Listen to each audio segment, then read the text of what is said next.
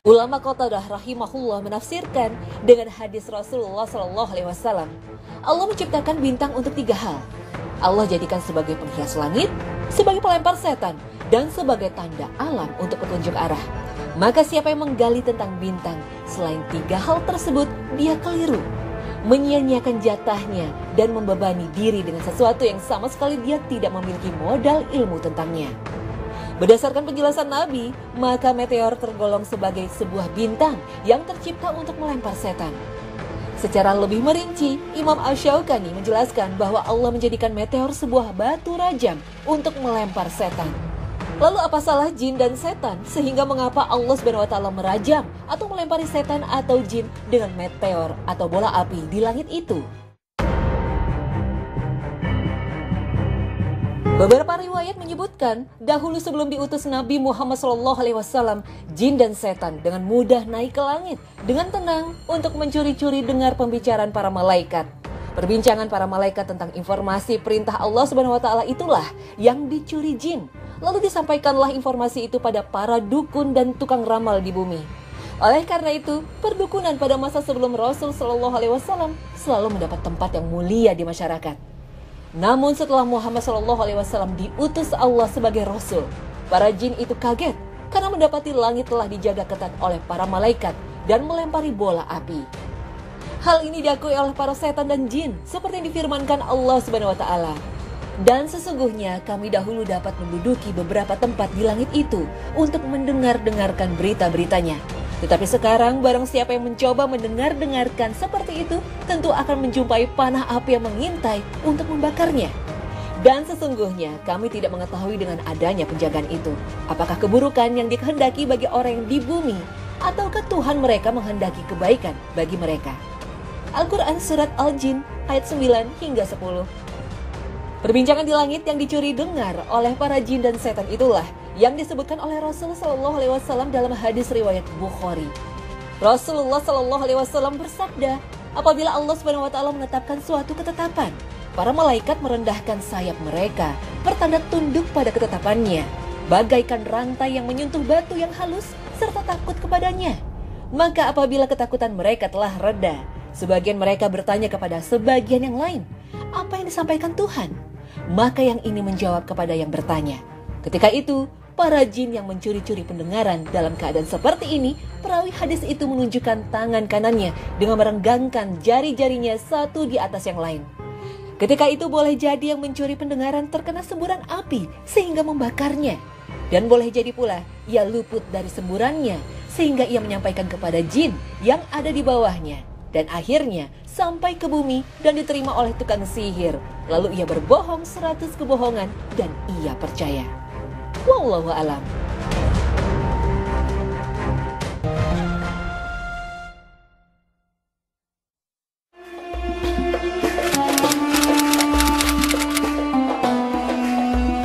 Aku sih biasanya pelan aja sih sehabis sholat. Pelan aja sih mbak. Ya mungkin biar nggak Ria kali ya. Iya kalau misalnya denger orang takutnya kayak ih apaan sih kok zikirnya digede-gedein soalnya kan zikir kan nggak cuman lagi sholat doang gitu kan di jalan juga sambil zikir dalam hati gitu aja sih. Ada amalan yang ringan tapi ganjarannya luar biasa. Energi yang dikeluarkan tak sebanding dengan dampak yang didapatkan. Inilah amalan zikir. Para ulama menyebutnya sebagai amalan sunnah kecuali yang wajib dibaca dalam sholat dan yang semisalnya. Biasanya amalan sunnah hanya didasarkan pada satu dua hadis Nabi Shallallahu Alaihi Wasallam. Sedangkan zikir ditetapkan berdasarkan ratusan dalil dari Al-Quran dan hadis. Oleh karena itu, tidak selayaknya kita memandang zikir hanya sekedar amalan sunnah biasa. Sebaliknya, kita harus memandangnya sebagai salah satu sifat seorang muslim yang tidak boleh terpisah darinya. Allah berfirman, laki-laki yang banyak berzikir kepada Allah dan perempuan yang banyak berzikir kepada Allah, Allah telah menyediakan untuk mereka ampunan dan pahala yang besar. Al-Quran Surat Al-Ahzab ayat 35 Dalam berbagai kesempatan, zikir terkadang dilakukan dengan cara lirih tanpa suara. Namun di kesempatan lain, zikir dilakukan dengan suara. Mana yang lebih baik? Para ulama berbeda pendapat soal ini. Syekh Abdullah Asyarqawi, seorang imam akbar Al-Azhar Kairo abad ke-18 Masehi mengatakan, selain zikir lisan, maka dilakukan dengan pengamatan tanpa disertai gerakan nyata. Zikir jenis inilah yang disebut dengan zikir khafi atau zikir tersembunyi. Dalam riwayat Ahmad dari Sa'ad bin Malik, Nabi Shallallahu Alaihi Wasallam bersabda, sebaik-baik zikir adalah zikir khafi atau yang tersembunyi. Dalam hadis lain disebutkan, zikir yang tidak terdengar oleh para malaikat pencatat amal lebih baik daripada zikir yang terdengar oleh para malaikat pencatat amal sebanyak 70 kali lipat. Ketika Allah mengumpulkan seluruh makhluk, lalu para malaikat pencatat amal datang dengan membawa apa yang telah mereka tulis dan hafal. Allah Subhanahu wa taala berfirman, "Periksalah, apakah masih ada yang tersisa?" Para malaikat pencatat menjawab, Wahai Tuhan kami, tidak ada yang kami tinggalkan, melainkan sudah kami hitung dan kami tulis. Allah Subhanahu wa taala berfirman kepada seorang ham, "Kamu punya simpanan yang ada padaku, tidak ada yang tahu selainku. Aku akan memberimu pahala karena itu." Ia adalah zikir khafi atau zikir tersembunyi. Hadis riwayat Abu Ya'la, Al-Baihaqi, Adailami dan yang lain.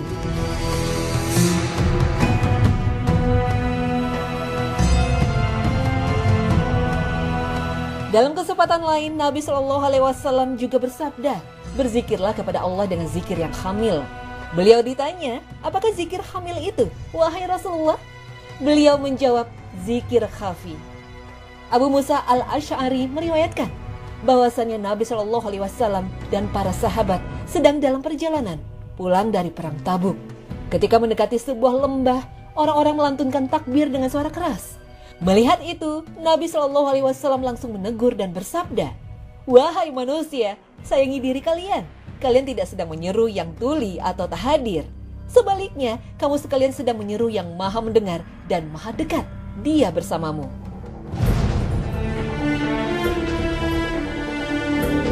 Adapun anjuran zikir jahri atau dengan suara didasarkan pada hadis yang diriwayatkan oleh Atobroni dari Ibnu Abbas bahwasannya Nabi Shallallahu Alaihi Wasallam bersabda, berzikirlah kepada Allah dengan zikir yang banyak, sehingga orang-orang munafik berkata bahwa kalian melakukannya karena ria, pamer.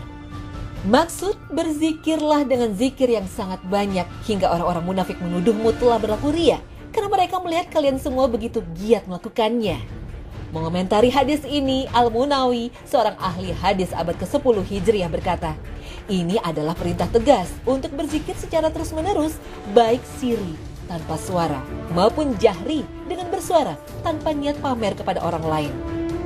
Demikianlah dengan tegas hadis ini menunjukkan kesunahan zikir jahri atau dengan suara.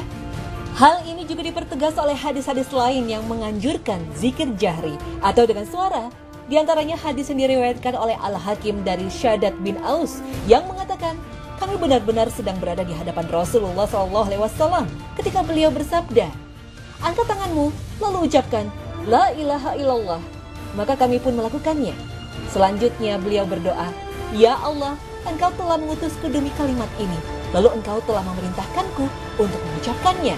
Dan engkau telah menjanjikan surga kepadaku karenanya. Kemudian Rasul bersabda, Bergembiralah, Allah telah mengampunimu Al-Baihaqi juga meriwayatkan bahwa Abul Adra pernah bertutur. Kami bertolak bersama Rasulullah Shallallahu Alaihi Wasallam pada suatu malam. Saat itu ada seorang laki-laki di masjid sedang berzikir dengan suara keras. Aku berkata kepada Nabi Shallallahu Alaihi Wasallam, bisa jadi orang ini melakukannya karena ria. Rasul menjawab, tidak, tetapi dia pengeluh. Al-Bukhari dan Muslim juga meriwayatkan bahwasannya Ibnu Abbas radhiyallahu anhum pernah bertutur, mengeraskan suara dalam berzikir pada saat orang-orang selesai salat wajib telah diamalkan pada zaman Rasulullah Shallallahu alaihi wasallam. Bahkan saya tahu kalau mereka sudah selesai salat dengan itu. Maksudnya, dia tahu kalau orang-orang sudah selesai sholat dan mulai keluar masjid ketika mendengar mereka berzikir dengan suara keras. Fakta hadis-hadis ini seolah mengisyaratkan akan kontradiksi keutamaan yang satu menganjurkan berzikir dengan suara keras, dan yang lain menganjurkan berzikir tanpa suara. Lalu bagaimana kita harus menyikapinya?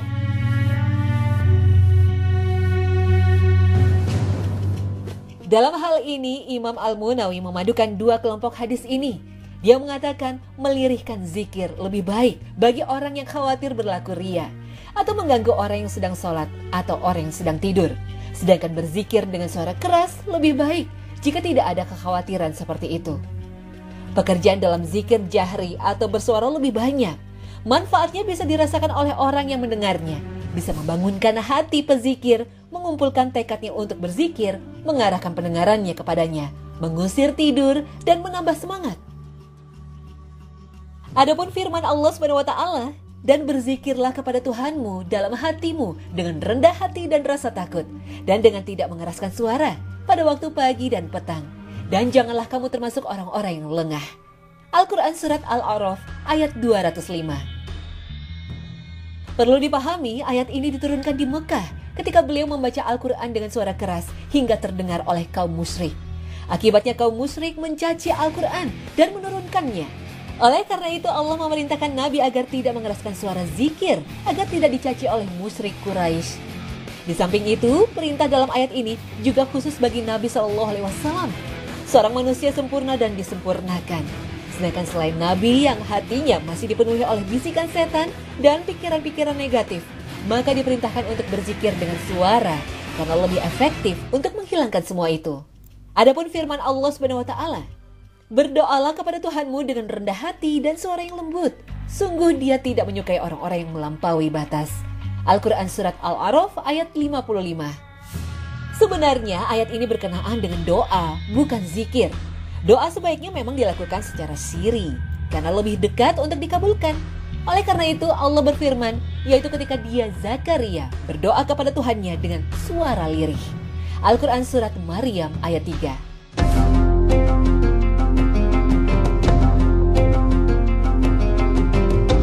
Dengan demikian, zikir bisa dilakukan dengan siri atau tanpa suara dan bisa pula dilakukan dengan jahri atau bersuara. Siapa pun yang memilih salah satu dari keduanya, dia telah berada dalam tuntunan Allah Subhanahu wa taala. Adapun bentuk dan caranya, berzikir bisa dilakukan dengan hati, yaitu dengan cara bertafakur, memikirkan ciptaan Allah sehingga timbul di dalam pikiran kita bahwa Allah adalah zat yang maha kuasa. Semua yang ada di alam semesta ini pastilah ada yang menciptakan, yaitu Allah Subhanahu wa taala. Juga zikir dengan lisan atau ucapan, yaitu dengan cara mengucapkan lafaz-lafaz yang mengandung asma Allah yang telah diajarkan oleh Rasulullah kepada umatnya. Misalnya, mengucapkan tasbih, tahmid, takbir, tahlil, salawat, membaca Al-Quran, dan sebagainya. Wallahu a'lam.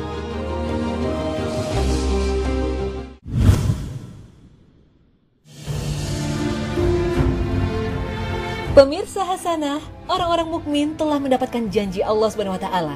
Mereka memasuki surga yang penuh dengan kenikmatan, makanan yang lezat, minuman yang segar, pakaian yang indah dan halus dan diberi kerajaan yang megah, penuh dengan berbagai perhiasan yang elok. Wajah mereka berseri-seri dan merasa puas atas usaha yang dia lakukan selama di dunia. Sesungguhnya, orang-orang yang bertakwa mendapat kemenangan, yaitu kebun-kebun dan buah anggur, dan gadis-gadis remaja yang sebaya dan gelas-gelas yang penuh berisi minuman. Al-Quran Surat An-Naba ayat 31 hingga 34. Apa yang mereka raih dan dapatkan jauh melampaui angan-angan dan bayangan segala kenikmatan dan keindahan yang pernah dibayangkan di dunia. Itulah kenikmatan yang diraih oleh orang-orang yang taat kepada Allah Subhanahu wa taala, bernaung di bawah ridho serta kasih sayangnya. Namun, semua kenikmatan yang telah dinanti-nantikan dan telah diraih serta dirasakan ini ternyata tak ada apa-apanya saat Allah Subhanahu wa taala memberikan kenikmatan tambahan. Masihkah penduduk surga mendapatkan tambahan kenikmatan lagi setelah apa yang mereka peroleh? Bagi orang-orang yang berbuat baik, ada pahala yang terbaik surga dan tambahannya. Al-Quran Surat Yunus ayat 26 Kenikmatan tambahan seperti apa? Kenikmatan yang dijanjikan ini adalah melihat Allah Subhanahu wa taala. Inilah yang dikabarkan Nabi Shallallahu alaihi wasallam dalam sabdanya. Apabila penghuni surga telah masuk surga, Allah tabaraka wa taala berfirman, "Apakah kalian menginginkan sesuatu yang dapat aku tambahkan?" Mereka menjawab, "Bukankah engkau telah menjadikan wajah-wajah kami putih berseri? Bukankah engkau telah memasukkan kami ke dalam surga dan menyelamatkan kami dari neraka?" Nabi bersabda, maka disingkapkanlah tabir penutup sehingga tidaklah mereka dianugerahi sesuatu yang lebih mereka senangi dibandingkan anugerah melihat Rob mereka Azza wa Jalla. Dalam riwayat lain dari riwayat Abu Bakar bin Abi Syaibah ada tambahan riwayat. Kemudian Rasulullah membacakan ayat bagi orang-orang yang berbuat baik, ada pahala yang terbaik surga dan tambahannya. Al-Quran Surat Yunus ayat 26.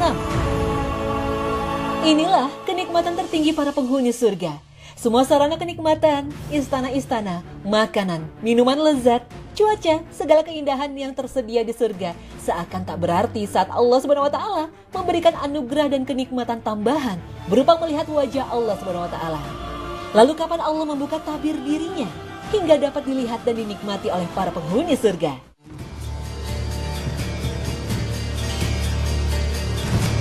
Dari keterangan hadis Nabi Shallallahu Alaihi Wasallam ini, kita bisa memahami bahwa Allah Subhanahu Wa Taala membuka tabir wajahnya hingga bisa dilihat oleh para penghuni surga saat seluruh penghuni surga telah memasuki surga.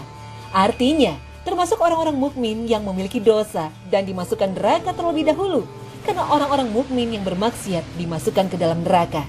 Setelah merasakan azab Allah di neraka, mereka akan diangkat oleh Allah Subhanahu Wa Taala dan dimasukkan ke surga. Maka setelah semua orang beriman memasuki surga, baik yang langsung ataupun yang dimasukkan terlebih dahulu ke neraka, dan semuanya telah merasakan kenikmatan surga yang tiada tara, maka saat itulah Allah Subhanahu wa taala memberikan tambahan kenikmatan berupa melihat wajah Allah Subhanahu wa taala. Mereka duduk di atas dipan-dipan sambil memandang. Al-Mutaffifin ayat 35.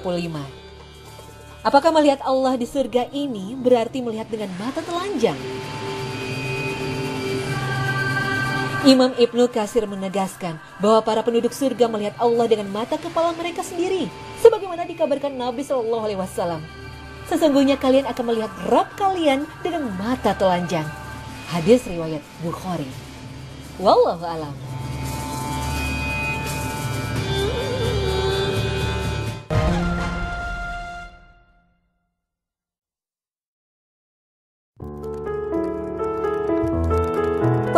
Sana, proses melahirkan merupakan sebuah tugas panggilan yang mulia sebagai seorang ibu. Mengandung dan melahirkan buah hati ke bumi bukanlah perkara mudah. Banyak yang dihadapi si ibu ketika sedang mengandung. Apalagi dengan himpitan ekonomi yang dialami oleh si ibu. Entah suami hanya seorang buruh kuli bangunan, sampai suami meninggalkan si ibu sendiri berjuang mengandung hingga melahirkan sang buah hati. Tak sedikit dari mereka yang kesulitan ketika melahirkan karena tak punya biaya. Bidan Leni Kusdiani telah menyaksikan langsung betapa sedihnya ketika melihat fenomena keluarga yang kurang mampu di saat menghadapi hari kelahiran sang bayi.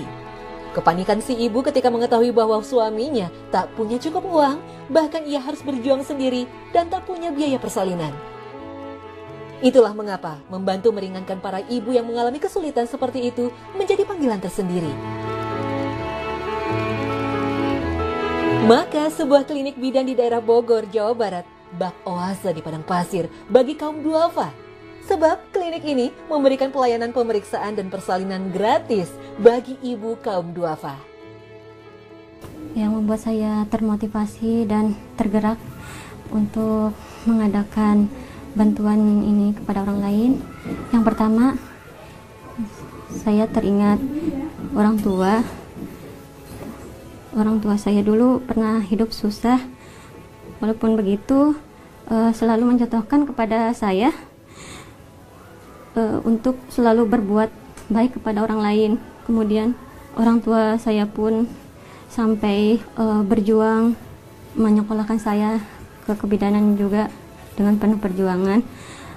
Untuk itu, uh, saya berharap perjuangan orang tua saya itu ada manfaatnya. Mudah-mudahan menjadi ladang uh, amal untuk orang tua saya. Membuat program pemeriksaan dan persalinan gratis tentunya tidak mudah. Butuh perjuangan dan perjalanan panjang yang harus dilakukan oleh bidan Leni. Sebab dari dia sendiri bukan orang yang mempunyai harta berlebih. Ia harus berjuang untuk bisa mewujudkan niat mulianya. Namun, meskipun sulit, ia yakin bahwa Allah taala akan selalu menuntun umatnya yang berbuat kebaikan sebagaimana Rasulullah wasallam bersabda. Allah selalu menolong orang selama orang itu selalu menolong saudaranya semuslim. Hadis riwayat Ahmad. Dan pada akhirnya Allah Ta'ala lah yang memberikan jalan hingga ia bisa berada di titik seperti sekarang ini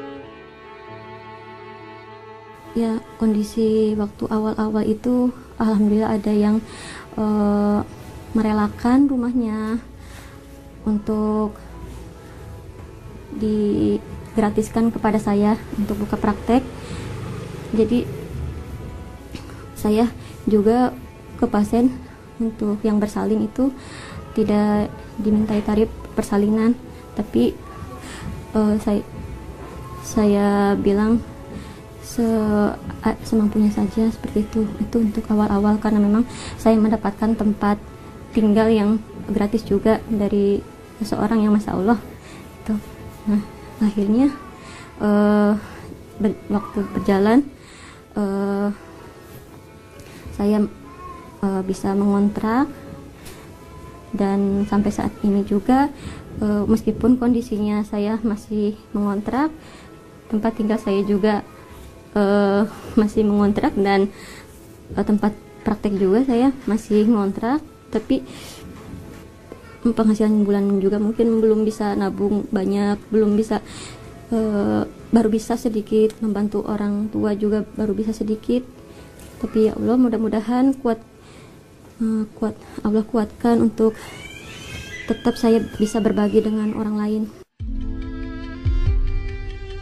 dalam setahun terakhir, Bidan Leni telah membantu 100 pasien dengan menggratiskan biaya persalinan ibu-ibu kurang mampu.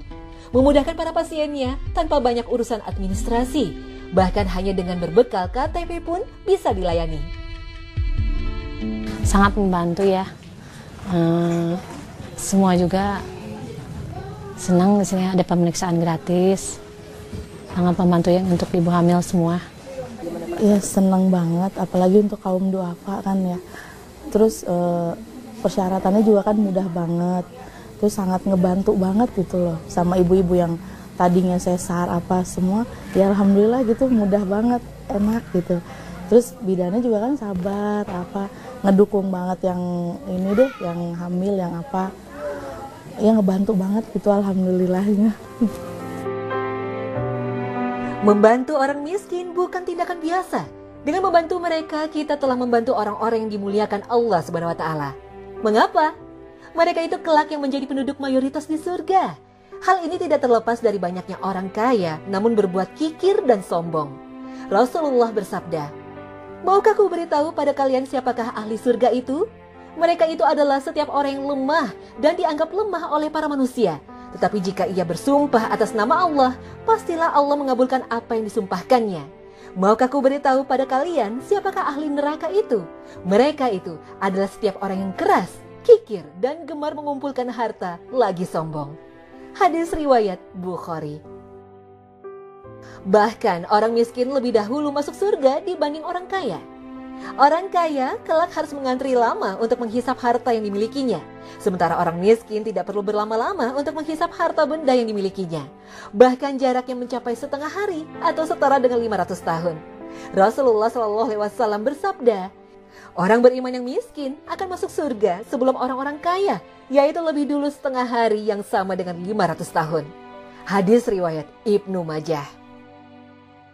Karena tidak bisa membayar kalau yang bidan-bidan lain belum mampu. Alhamdulillah, syukur aja sama Allah. Iya. Iya, gitu. senang, bangga, iya. Dengan memperhatikan orang miskin dan tak punya, bukan berarti orang miskin itu hanya sekedar objek yang perlu dikasihani. Karena justru orang-orang bisa kaya karena peran orang miskin. Orang menjadi kaya karena doa orang miskin. Orang-orang kaya bisa terus menjadi kaya karena doanya orang miskin. Yang terkadang dinilai orang kaya sebagai dramatisasi kemiskinan. Nauzubillah. Rasulullah SAW mengabarkan dalam sabdanya, kalian hanyalah mendapat pertolongan dan rezeki dengan sebab adanya orang-orang lemah dari kalangan kalian. Hadis riwayat Bukhari akan selalu ada alasan bagi kita untuk bersyukur meskipun dengan segala keterbatasan yang ada. Karena sejatinya kekayaan dan segala kenikmatan di dunia ini hanyalah sementara. Wallahu alam bisawab.